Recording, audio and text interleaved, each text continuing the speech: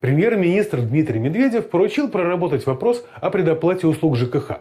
Речь прежде всего о газе. Именно газовая тема является главной в премьерской инициативе, призванной приструнить неплательщиков. Неплательщиков много. Граждане лишь одна из их категорий, причем отнюдь не самая значительная.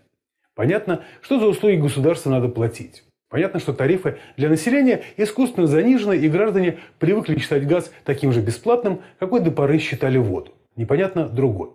С крупными неплательщиками, вроде Украины, перевод на режим предоплаты сам по себе санкция и признак официального недоверия.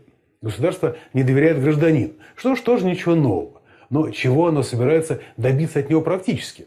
Перекрыть газ или отключить электричество в большинстве случаев затруднительно, что так, что так. То есть платежную дисциплину не повысить. Денег у государства тоже больше не станет. Речь идет лишь о том, что оно один раз получит деньги на месяц раньше. Допустим, ему очень нужен этот наш внеочередной платеж. Хорошо. Но это означает, что мы соглашаемся кредитовать государство. И хотя оно у нас согласия не спрашивает, мы имеем право спросить сами. А под какой процент? Можно еще спросить о механизмах компенсации за оплаченные, но не предоставленные услуги. И любой беспристрастный суд обязан будет гражданину на этот вопрос ответить. Потому что в противном случае, если не рассматривать это как кредит, налицо нарушение презумпции невиновности, причем в особо крупных масштабах по отношению к сотням миллионов людей. Конечно, не в первый раз. И, конечно, диалога не получится.